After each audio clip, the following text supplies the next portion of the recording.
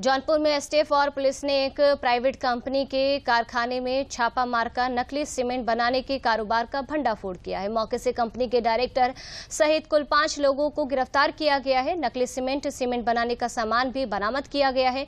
Police के अनुसार सिद्धवन औद्योगिक क्षेत्र में स्थित बीसीसी हाईटेक प्राइवेट लिमिटेड के नाम से संचालित कारखाने में नकली सीमेंट बनाकर अलग अलग कंपनी की प्रिंटेड बोरियो में बेचने की सूचना एसटीएफ को मिली थी। उसी आधार पर एसटीएफ ने बृहस्पतिवार की रात में सुरेरी, रामपुर और मड़ियाहू थाने की टीम के साथ छापा मारा। अपर पुलिस अधीक्षक ग्रामीण शैलेंद्र कुमार सिंह ने बताया कि प्रथम दृष्टिया पता चला है कि कंपनी में नकली सीमेंट बनाने का काम चल रहा था। मुकदमा दर्ज कर कार्रवाई की जा रही है।